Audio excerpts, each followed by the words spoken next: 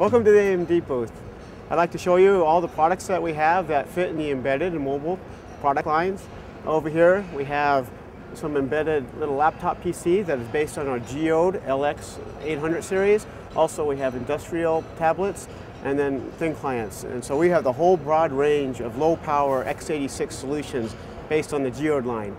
Uh, we even have some UMPC kind of devices. This is from a partner of ours, Raon, and uh, we're pretty excited about it. It has about four hours of battery life and runs full XP.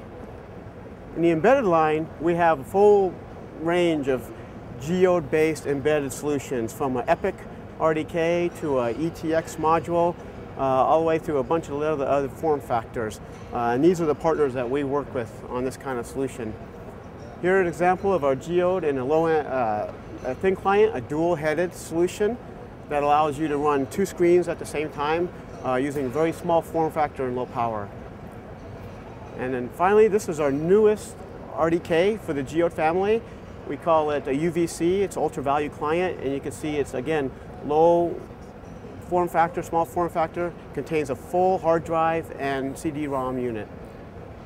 What we're really excited about is moving from the Geode is we have a full range all the way up into our AMD 64 product line. We now have solutions based on our AMD Sempron product line, Turion, uh, Athlon, and all the way up into our Opteron. Uh, latest addition is uh, the ATI M690T chipset. It brings the latest technology and graphics into the embedded environment. And as you can see, we're running uh, a Turion X2 core here with the ATI M690T on a dual screen and both applications are running simultaneously and we're getting excellent performance. So this has been an exciting conference and we're glad to be here. Thank you.